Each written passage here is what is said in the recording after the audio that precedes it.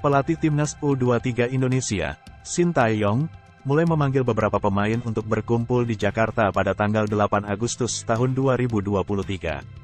Salah satu pemain yang dipanggil Shin Tae-yong adalah striker Bayangkara FC, Muhammad Ragil. Kepastian Shin Tae-yong memanggil Ragil terlihat dari akun Instagram Bayangkara FC. Tim berjulukan The Guardian itu mengucapkan selamat kepada Ragil yang dipanggil ke Timnas U23 Indonesia. Ragil merupakan pemain kelahiran tanggal 8 Mei tahun 2005. Bayangkara FC merupakan tim pertamanya di level senior. Pemain berusia 18 tahun itu sebelumnya pernah mengikuti program Garuda Select. Usai berlatih dari Inggris, Ragil langsung bergabung ke Bayangkara FC.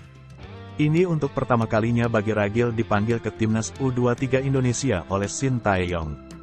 Garuda memanggil, ayo anak muda, buktikan Muhammad Ragil, tulis Bayangkara FC.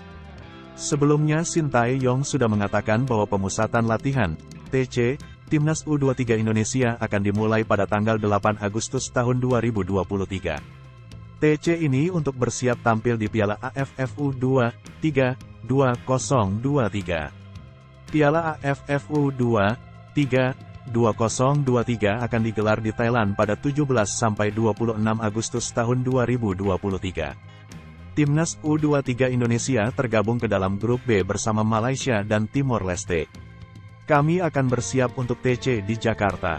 Rencananya tanggal 8 Agustus tahun 2023. Dalam persiapan ini, kami akan memanggil pemain dari klub supaya bisa datang, ucap Shin Taeyong. PSSI tidak menargetkan Timnas U23 Indonesia meraih juara di Piala AFF U23 2023. Shin Tae-yong pun juga cukup kesulitan untuk mendatangkan pemain karena turnamen tersebut berbarengan dengan Liga 1 2023 per 2024. Kemungkinan besar beberapa pemain yang belum pernah ke timnas U23 Indonesia akan dipanggil.